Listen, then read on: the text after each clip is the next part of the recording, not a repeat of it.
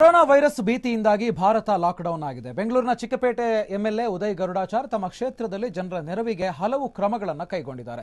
ಕ್ಷೇತ್ರದ ಆರೋಗ್ಯಾಧಿಕಾರಿಗಳು ಬಿಬಿಎಂಪಿ ಅಧಿಕಾರಿಗಳ ಜೊತೆ ಸಭೆ ನಡೆಸಿದ ನಂತರ ಬಡವರಿಗೆ ಉಚಿತ ಊಟದ ವ್ಯವಸ್ಥೆಯನ್ನು ಕೂಡ ಮಾಡಿದ್ದಾರೆ.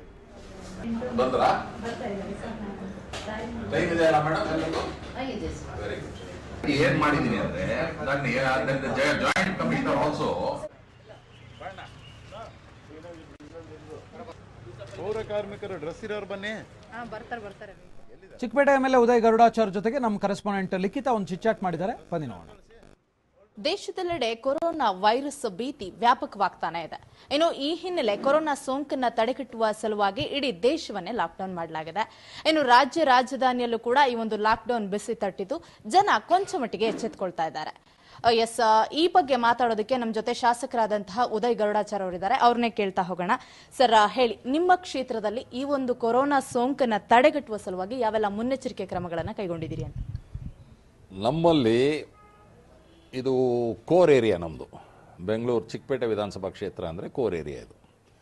ಇಲ್ಲಿ ಸಾಕಷ್ಟು ವ್ಯಾಪಾರಸ್ಥರಿದ್ದಾರೆ ಇವತ್ತು ಬೆಳಗ್ಗೆನೂ ನಮ್ಮ, ನಾನು, ನಮ್ಮ ಎಂ ಪಿ ಇಬ್ಬರು ಹೋಗಿದ್ವಿ ಅಲ್ಲಿ ವೀಕ್ಷಣೆಗೆ.